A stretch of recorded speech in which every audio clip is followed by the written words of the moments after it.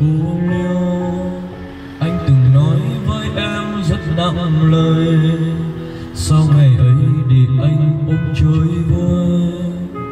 Giờ lớn hơn anh mới hiểu, ai cũng muốn cuộc sống không lo toan.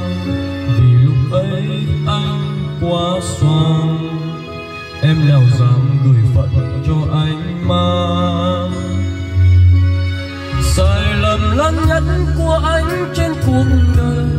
Là đánh mất em khi đang tuổi đôi mươi dù muốn ấp ôm em theo cả cuộc đời, mà bản thân anh còn chưa no được nỗi giờ đây anh đã có những thứ em cần rồi, chỉ không có em theo anh đau lòng thôi. Người không dám tin tương lai anh thay đổi, giờ theo bước anh em sẽ đớn đau trong lòng.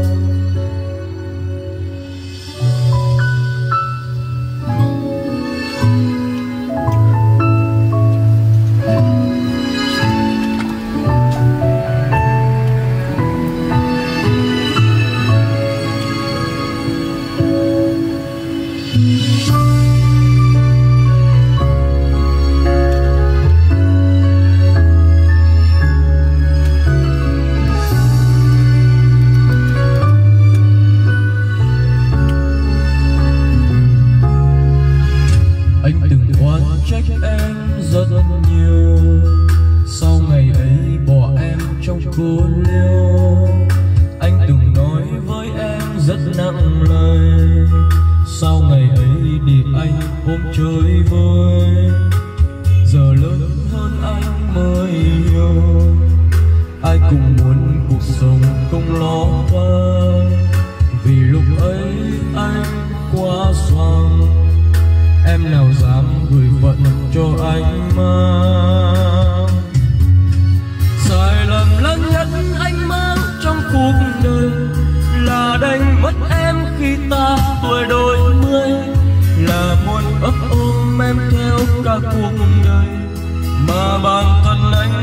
chưa lo được nơi giờ đây anh đã có những thứ em cần rồi.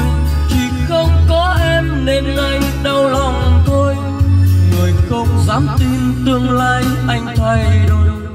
Sợ theo bước ai em sẽ đứng đau cuộc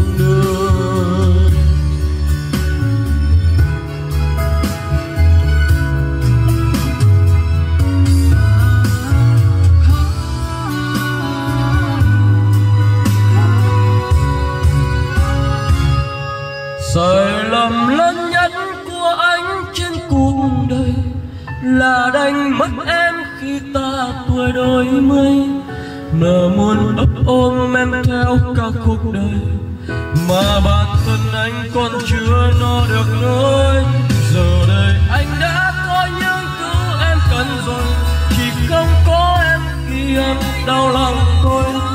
Người không dám tin tương lai anh thay đổi sợ theo bước em, anh sẽ đớn đau cuộc đời.